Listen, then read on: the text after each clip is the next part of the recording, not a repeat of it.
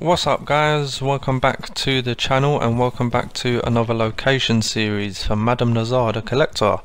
Today is the 21st of November and as of today the 21st of November I will be showing you where you can find Madam Nazar the Collector.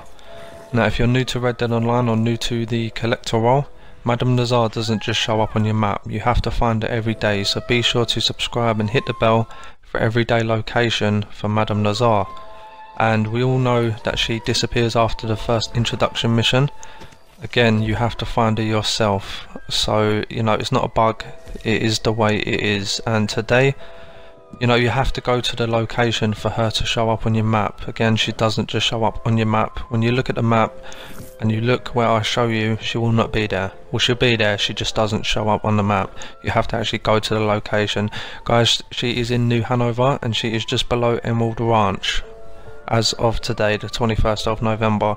And if you're doing the collectibles today guys it is day two for the collectibles. If if the collectibles not there for you for day two just try day one or three. It seems to be different for other players. Thanks for your time guys. As always drop a like on the video subscribe to the channel if you are new and don't forget to hit the bell for my latest content. I'm SG and I'll see you guys next time